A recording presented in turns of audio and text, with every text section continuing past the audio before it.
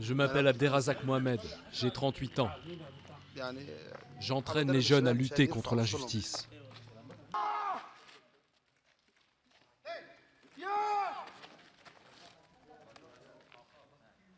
Je suis Zouer Ismaël, j'ai 15 ans, je suis là pour combattre au nom de Dieu, apprendre à démonter un fusil et résister contre l'armée d'Assad.